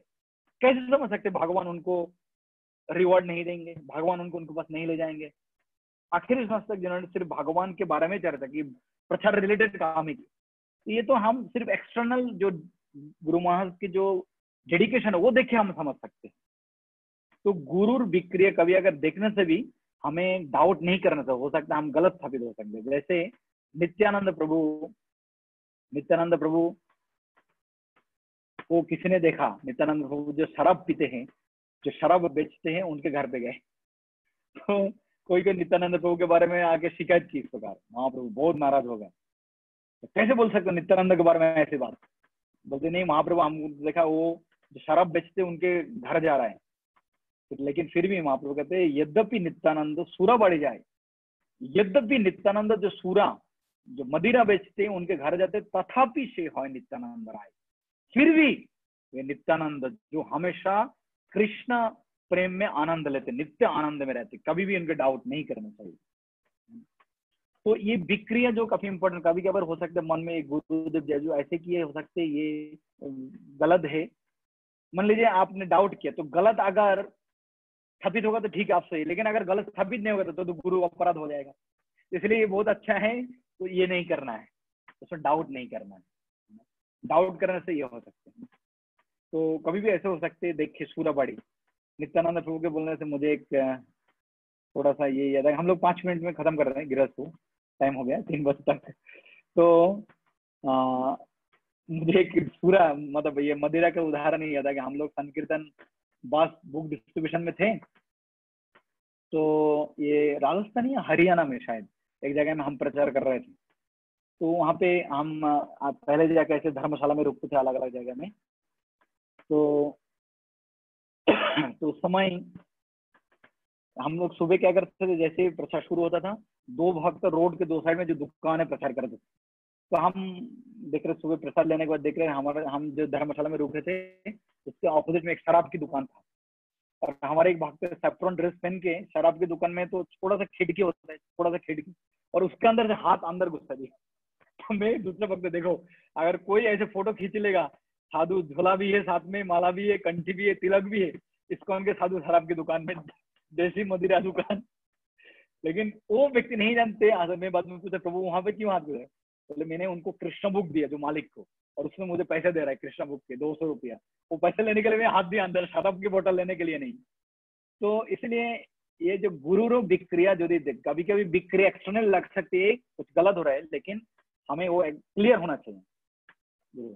और इसलिए इसमें बता रहे कि गुरु निंदक मुख को बुना देखिए, जो आध्यात्मिक गुरु की निंदा करते हैं, उनके मुँह भी देखना नहीं चाहिए, ऐसे बता रहे सप्तम और जथा हो गुरु निंदा, तथा ना जाएगी और जहाँ पर गुरु निंदा होता है, वहाँ पर नहीं, उस जाएगा नहीं जाना चाहिए। ये किसकी शिक्षा है? सती। भागवत में आपको अगर याद हो तो सती के जो पति है, कौन है? शिव। तो सती ने बताया, जब दक्ष ने सेकेंड टाइम जो यज्ञ की, उस समय अपमान किया शिव जी को कि मैं मेरे बेटी को इससे शादी नहीं देना चाहता था। ये मेरे पिताजी ब्रह्मा जी के रिक्वेस्ट से मैंने शादी दिया। शादी करें मेरे बेटी को दिया था। ये बहुत शमशान में रहते हैं। कपड़ा नहीं है ठीक से। भस्म, लगाते बॉडी में ऐसे निंदा करने लगा। तब सती बताए, देखो, शिव है जगत गुरु। और पिताजी, आप जगत गुरु जैसे जो मेरे भी गुरु है, मेरे पति, उनको आप निंदा कर रहे हैं? तो सती ने ये बताया था। जो ऐसे निंदा करते हैं गुरु के तो उनको क्या वैष्णवों के, तब क्या करना चाहिए? सबसे पहले उनका जीव काट देना चाहिए। अगर जीव काट नहीं पाते तो सेकंड क्या करना, उनको शास्त्र, तर्क के द्वारा उनको डिफीट करना चाहिए। अगर वो भी नहीं कर पाते तो उस स्थान तय करना चाहिए। इसलिए बताए यथा हो गुरु निंदा, तथा ना जाएगा। जिस जगह जिस जगह पर, जिस रूम में, जिस कमरा में, जिस ऑनलाइन सेशन में गुरु निंदा होते वहाँ पर नहीं जाना चाहिए। ये इंपॉर्टेंट है।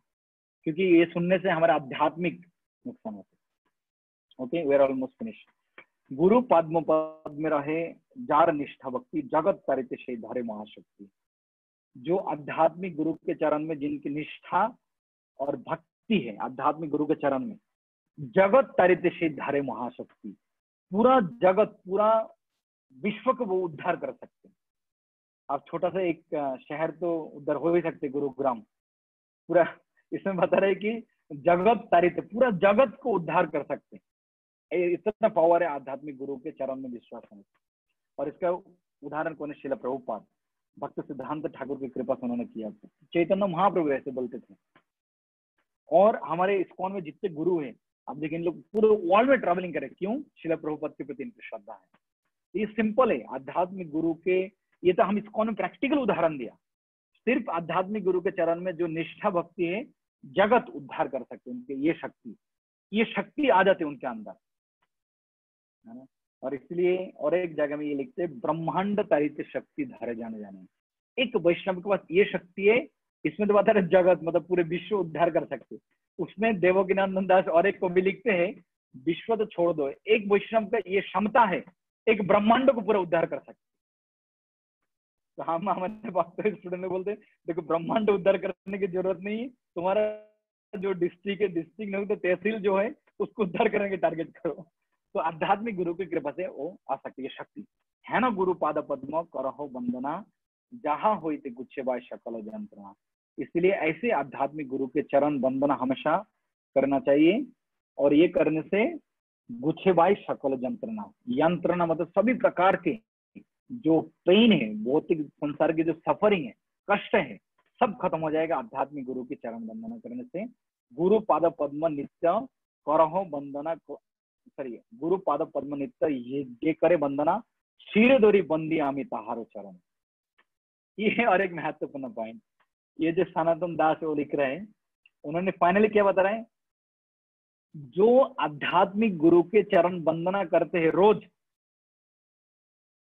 जो भक्त आध्यात्मिक गुरु के चरण वंदना करते हैं, मैं उनके चरण मेरे सिर में धारण करता हूँ। देखिए, ये वैष्णव लोग कितना मतलब महान है। मतलब उन्होंने ऐसे क्या किया मतलब रोज जो आध्यात्मिक गुरु के चरण वंदना करने, इतने जितने भक्त है, सबके चरण बताए कि मेरे सिर पर।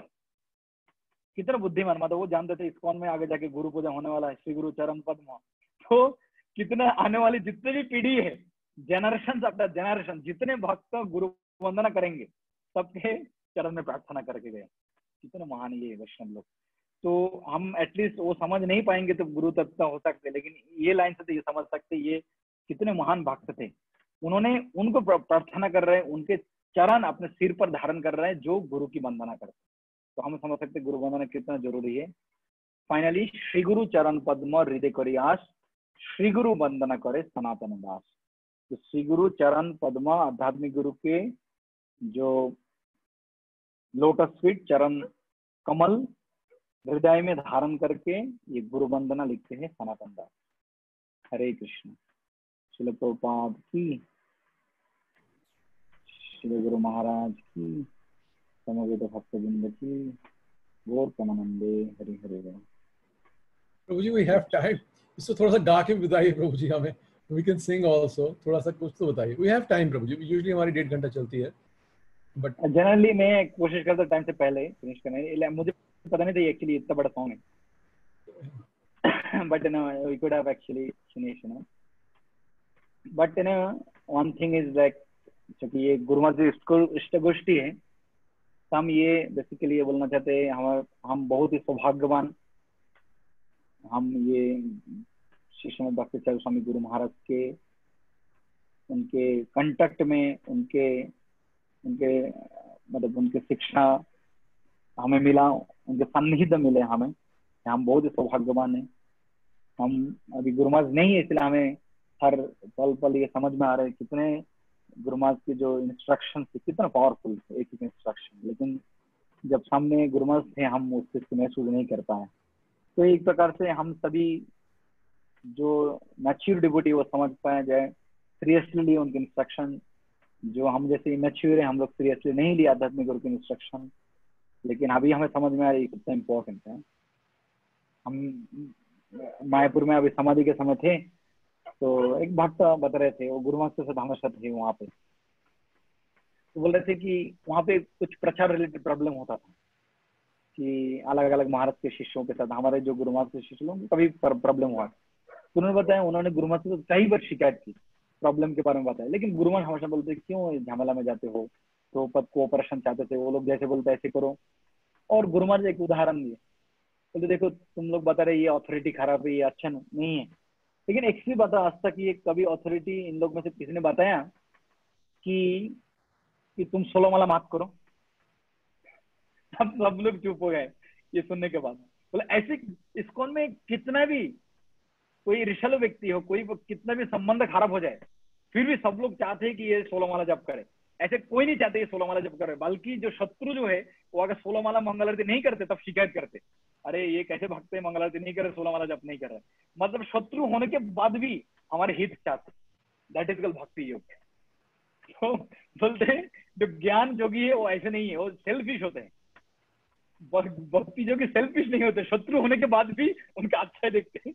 अगर भक्ति नहीं कर रहे ठीक से, तब भी उन पर डांट पड़ते। तो गुरुमान रहे देखो, ऐसे इस्कॉन में कोई नहीं जो हमारे हित नहीं चाहते। तुम एक दिन, तुम तो ऑथोरिटी कितना भी तुम्हें डांटते हैं, कितना भी रेशा करते, तुम अगर एक दिन सोलो माला नहीं करोगे तो वो नाराज़ हो जाएँगे। इससे मत इससे पता चलते कि सब हितकारी इस्कॉन में सभी हिताकांक्षी है। तो इसलिए वो बता रहे थे कि गुरु महाराज चाहे तो हमें फोर्स अभी कोई भी फोर्स में हमारा वक्त नहीं है। तो बोल रहे गुरु महाराज को कितने बार रिक्वेस्ट की फिर भी गुरु महाराज नहीं दिया तो इतने दिन हमें समझ, वो वक्त बता रहे थे, इतने दिन हमें समझ में नहीं आया लेकिन अभी आ रहा है कि गुरु महाराज सिर्फ़ प्योर डिवोशन का शिक्षा देके गए और कुछ शिक्षा नहीं दे हमें। हमेशा गुरु महाराज सिर्फ़ यही कहते थे। अपने शिष्य के तक, इतने कठिन तकलीफ़ होने के बावजूद भी गुरु महाराज प्योर डिवोशन शिक्षा देके गए तो इसलिए हम बहुत सौभाग्यवान की गुरु महाराज के हम सन्निध में आ पाए, गुरु महाराज शुद्ध भक्त ऐसे ऐसे वैष्णव बहुत सालों में नहीं आते हैं। हम नहीं बता रहे इस में जितने बड़े बड़े गुरु, वो लोग बताए थे उनके क्लास में। गुरुमा जैसे, ऐसे एक महान वैष्णव, कहाँ आ पाते आप देखिए। प्रोपद जैसे एग्जैक्टली ऑलमोस्ट ये सेम गौड़ीय वैष्णव बैकग्राउंड से है गौड़ी वैष्णव फैमिली बैकग्राउंड से है। परफेक्ट भजन कीर्तन कैसे करना चाहिए वो जानते थे। परफेक्ट वैष्णव कुकिंग क्या होना चाहिए जानते थे। परफेक्ट वे ऑफ़ टॉकिंग कैसे बातचीत करना चाहिए वैष्णव, वो जानते थे। परफेक्ट वैष्णव सदा सर सब जानते थे। मतलब हर एक चीज़, जो रियल चैतन्य, महाप्रभु के रियल कल्चर ऐसे बहुत कम लोगों में कॉम्बिनेशन देखने को मिलते हर एक चीज़ में। हर एक चीज़ में। कितना स्पेसिफिक हर एक चीज़ में। तो ये सिर्फ़ नो गुरु महाराज जैसे महान वैष्णव में आते ये बहुत सालों में एक बार आते शिव प्रभुपाद को मदद करने के लिए आए थे। लेकिन गुरु महाराज के जो जो डिपर्चर ये देखने के बाद बहुत सारे लोगों को मन में आ सकते लेकिन ये डिपर्चर के भी बहुत सारे कारण हो सकते हैं। ये एक प्रकार के, ये एक प्रकार के ट्रांसडेंटल डिपर्चर ये हमें लग सकते हैं हॉस्पिटल में ऐसे कुछ हुआ, लेकिन आप अगर विचार करते दो तीन चीज़। सिर्फ़ ये देखिए, गुरु महाराज गुरु महाराज, ये सत्तर तारीख के आसपास उनके हेल्थ खराब हुआ था। और गुरु महाराज हॉस्पिटल गए थे। और उसके बाद उसके बाद गुरु महाराज वेंटिलेटर में फ़र्स्ट दिन से थे और और देखिए जनरली वेंटिलेटर में बोलते किसी किसी कंट्री में टू परसेंट सर्वाइवल इंडिया में तो बहुत जगह अभी देते नहीं अगर क्रिटिकल ना हो तो।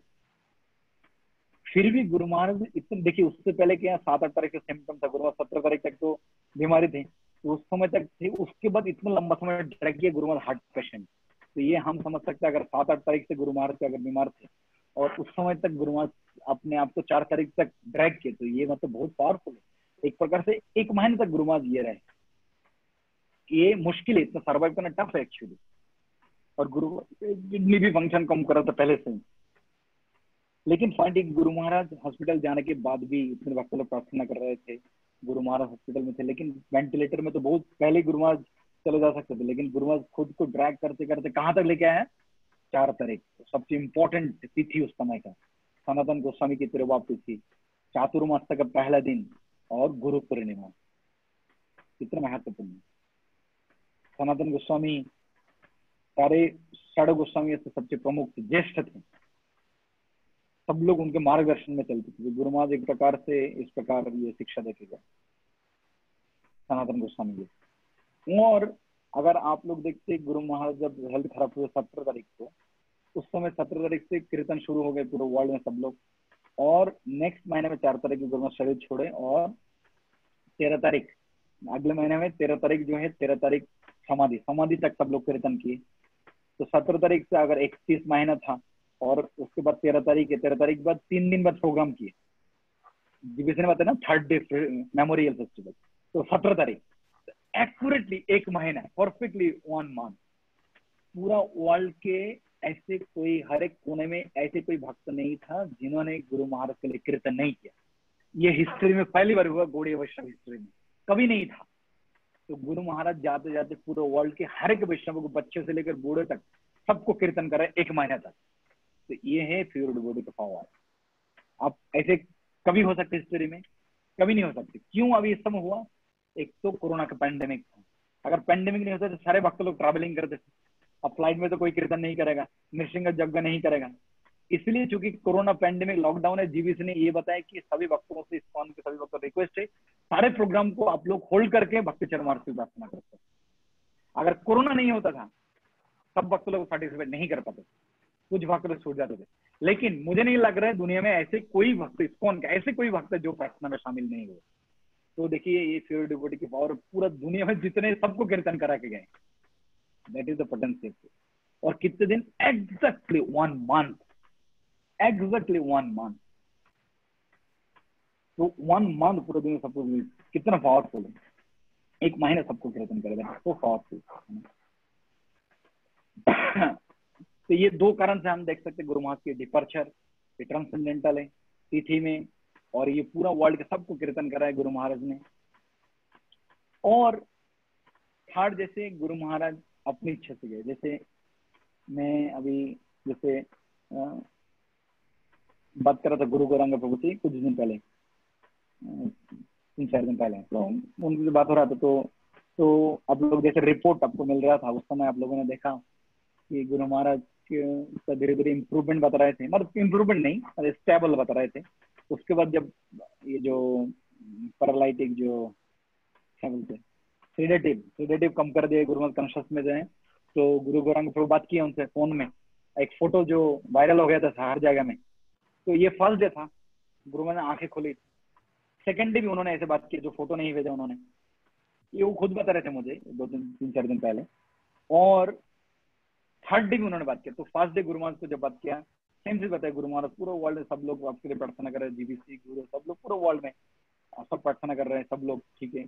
सेकंड भी बताए गुरु महाराज का आँख देखे हेड देखे, गुरु महाराज तो बात नहीं करे लेकिन लग रहे गुरु महाराज, वो बता रहे, ठीक हो जाएँगे, ठीक हो जाएँगे, वो अच्छा बता रहे लेकिन वो बता रहे थर्ड डे जब गुरु महाराज से सेम चीज़ बताए पूरे वर्ल्ड में सब लोग बता रहे, गुरु महाराज, आप ठीक हो जाएँगे, हम फिर से प्रोटेक्ट करेंगे, आप आ जाएँगे, हम प्लानिंग कर रहे हैं, आप एक जगह में रहेंगे दो तीन महीने रेस्ट करेंगे। लेकिन उस समय उन्होंने बता रहे कि हर एक चीज़, वो जो बता रहे थे हर एक चीज़ में ऐसे लग रहे थे गुरु का ना ना ना। मैं नहीं आऊँगा मैं बात नहीं हर एक चीज़ में उन्होंने बता रहे थे गुरु महाराज का एक्सप्रेशन थे।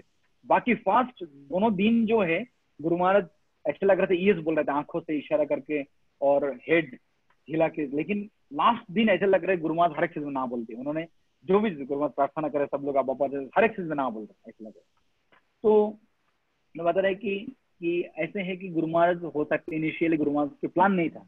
लेकिन गुरु महाराज के बाद प्लान चेंज कर लिया। प्योर डिबोटी कभी भी प्लान चेंज कर सकते हैं। कभी भी प्लान चेंज कर सकते हट्टंग महाराज के जब पता चला उनके समय नहीं तो उन्होंने क्या किया? एक क्षण था, उन्होंने बोला, मुझे लिबरेशन दे दो। मिनट लगते हैं।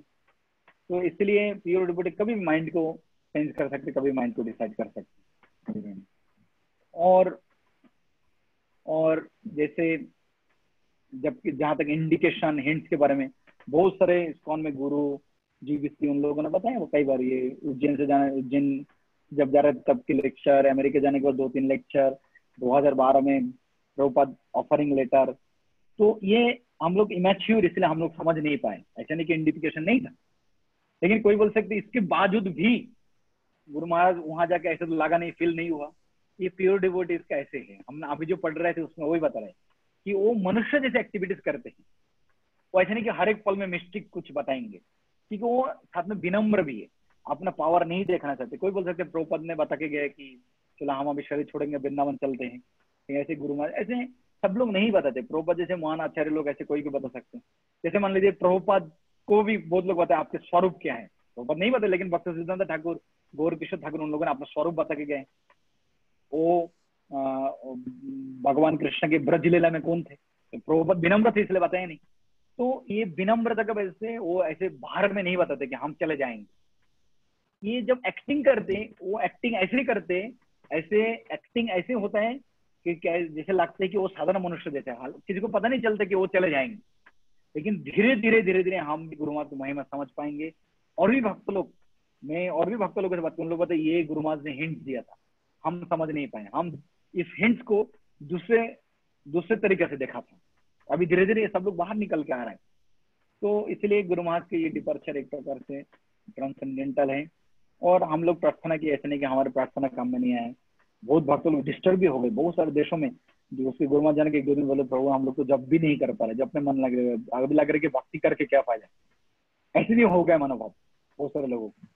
देखो, ये सही अंडरस्टैंडिंग नहीं है। तो हम प्रार्थना किया, ऐसे नहीं, कम में नहीं आए। क्या हम हर बार प्रार्थना करने से यहाँ पे हो जाते हम तो ये ये प्रार्थना को दो तरीके से हम देख सकते हैं। एक है, हमने गुरु महाराज को बुलाया वापस आने के लिए। प्रभुपद भी उनको बुलाया। तो प्रभुपद जब उनको बुलाया गुरुमत किसके बात सुनेंगे? आप अगर आपको गुरुग्राम के भक्त लोग बोलते आप यहाँ रह जाओ। और अगर गुरु महाराज दूसरे किसी जगह में बुलाते आप कहाँ जाएँगे? थोड़ा चिंता का विषय है। लेकिन मान लीजिए, आपको प्रभुपद बुलाते हैं किसी जगह में तो आप किसकी सुनेंगे? प्रभुपद के सुनेंगे है ना? तो उसी प्रकार हम नहीं समझ सकते उनके जो प्रभुपाद चैतन्य महाप्रभु के प्रति डिवोशन कितना तो ये एक तरीके से दूसरे तरीके से हमें पर्सनली देखना है कि हम सीरियसली प्रार्थना नहीं की। ये बाकी भक्तों का नहीं, हम खुद का देखना है कि हम इतने पापी है, हम इतने अनक्वालिफाइड डिसाइपल है, हम ठीक से प्रार्थना भी नहीं किया। हम सिर्फ़ दिखावट के लिए प्रार्थना, ये खुद की प्यूरिफिकेशन के लिए प्यूरिफिकेशन के लिए खुद को ऐसे सोचना चाहिए। तो ये प्रार्थना को दो तरीके से देखना चाहिए। और बाकी ये गुरु महाराज, गुरुदेव को तो कहीं ना कहीं जाना ही है। उनको कभी ना कभी जाना ही है। तो बात को ये करने के लिए तो आध्यात्मिक गुरु हमेशा शिष्य के साथ हैं। और कभी अलग नहीं होते। प्रोपद बोलते थे spiritual master is never separated from his disciple और प्रोपद खुद जब बता रहे उन्होंने दो तीन बार उनका एसोसिएशन मिला। बल्कि उन्होंने भक्त सिद्धन ठाकुर के प्रमुख शिष्य में से एक माने गए। इस में भी अभी बहुत वरिष्ठ वैष्णव, बहुत बड़े लीडर है, जो प्रोपद को दीक्षा के समय मिले और कभी नहीं मिले। तो हम में भी ये रिस्पॉन्सिबिलिटी ये हमारी रिस्पॉन्सिबिलिटी गुरु महाराज की जो जो टीचिंग से गुरुमास के इंस्ट्रक्शन से गुरुमास के जो एग्ज़ाम्पल है, जो वो हमारे बिहेवियर के द्वारा हमें सेट करना है एग्ज़ाम्पल ताकि बाकी लोग देखे गुरुमास की glorification Hare Krishna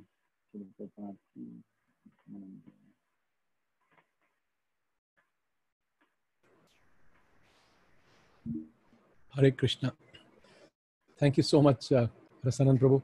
We were missing your association for a long time and uh, मैंने आज सुबह ही फ़ोन किया प्रभु जी को और प्रभु जी मान गए और uh, आप सब लोगों को जान के ये भी प्रसन्नता होगी कि हमने जो गुरु अष्टकम की क्लासेस शुरू की थी so that we will be resuming from next next weekend उसका डे आपको बता देंगे कि क्या डे है but that classes will resume और uh, जो लोग भक्ति शास्त्री कर रहे हैं आप लोगों ने ग्रुप में भी देख लिया होगा कि जो जैन से ऑनलाइन भक्ति शास्त्री कर रहे हैं कि that classes will resume next Saturday Sunday वही टाइम रहेगा 10 से 12 का सुबह तो भक्ति शास्त्री के लिए भी uh, जो जो थे थोड़ा सा रिवाइज कर लीजिए अपना ताकि we can come prepare to the classes कुछ आप कहना चाहते हैं प्रभु जी वो भक्ति शास्त्री क्लास के लिए कि कुछ क्योंकि बहुत लंबा गैप पड़ गया हम लोगों का प्रभु जी। हम तो इस इस हफ़्ते में शुरू करना चाहते थे लेकिन भक्त लोग नेक्स्ट वीक से चाह रहे थे।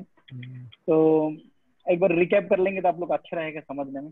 कि थोड़ा हैवी सेशन होता है भक्ति शास्त्र में बहुत सारे श्लोक और सिस्टमेटिकली लेकिन ऑफकोर्स भक्ति शास्त्र बेनिफिशियल भी है। तो सिस्टमेटिकली पढ़ने के लिए आप लोग अगर वो जो जो श्लोक चर्चा करते हैं वो श्लोक अगर एक बार पढ़ के आएँगे तो एटलीस्ट जो कंटेक्स्ट हम चर्चा करेंगे आपको समझने में आसान होगा। एंड क्लोज बुक असेसमेंट जो है हम उस क्लास में बता देंगे आपको दो पर दो हफ़्ता के बाद हो सकता है हम कभी एग्ज़ाम ले लें क्लोज बुक असेसमेंट के। तो वो ऑलरेडी प्रश्न है भक्ति शास्त्री बुक में। जो फ़र्स्ट यूनिट के जितने क्वेश्चन है मतलब भागवत गीता के फ़र्स्ट टू सिक्स चैप्टर के आप लोगों को क्वेश्चन आपके पास ऑलरेडी है, और आंसर भी कौन से श्लोक में वो भी लिखा है ब्रैकेट में। तो ये आप लोग पूर्व स्वाध्याय नाम से लिखा है मतलब पहले से आप तैयारी कर सकते हो, वो प्रिपेयर कर लीजिए, वो काफ़ी इंपॉर्टेंट है। और उपमा है, जो analogy fill in the blanks के लिए। Yes Prabhu so thank you so much Prabhu ji Prabhu ji इसका एक प्यारा तो गा के बता दीजिए ये गा ये सॉन्ग गाते कैसे हैं प्रभु जी? ये जो अभी हमने ये जो वैष्णव भजन हमने किया है ये वाला आश्रय कौरिया बंधु श्री गुरु चरण इसकी ट्यून बता दीजिए प्रभु जी ये गाते कैसे हैं? हाँ सेम ये देखिए दो ट्यून में हो सकते हैं। एक क्लासिकल बंगाली ट्यून और एक नॉर्मल नॉर्मल में ये है जो आप कहते जय राधे जय कृष्ण जय वृंदावन। आश्रय करिया बंद श्री गुरु चरण যাহা হইতে মিলে ভাই কৃষ্ণ প্রেম ধন तो ये जो जय राधे जय कृष्ण गाते हैं उस ट्यून में गा सकते मुझे लग रहा है वो इजी है और एक है थोड़ा क्लासिकल डिफिकल्ट है okay Prabhu I think it will जय राधे जय कृष्ण या जय अनिल प्रेमोधन या ये वारो करुणा करो वैष्णव गोसाई सेम ट्यून में ये गा सकते Okay. So thank you so very much, Prabhu ji. अच्छा मैं सदा. आपका ahead. Go गाने. वाला है नहीं मैं सदा आप गान ठीक है I know. So thank you so very much, Prabhuji. We are very grateful for having accepted uh, our request. And all of us will chant one loud Hare Krishna Mahamantra to thank Rasanand Prabhu. And uh, Krishna willing, we'll start our Bhakti Shastri classes and also our Guru Ashtakam classes also from next week on. Hare Krishna, Krishna Krishna, Hare Hare, Hare Ram, Hare Ram, Hare Ram Ram Ram Hare Hare Shri Gurudev ki jai. जय